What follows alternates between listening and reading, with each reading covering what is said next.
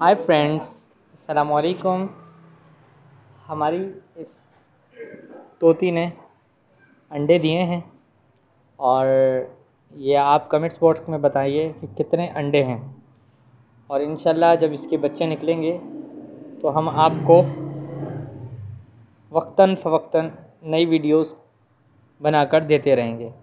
देखते रहिए इन्जॉय करते रहिए और अपने कमेंट्स कमेंट्स बॉक्स में देते रहिए।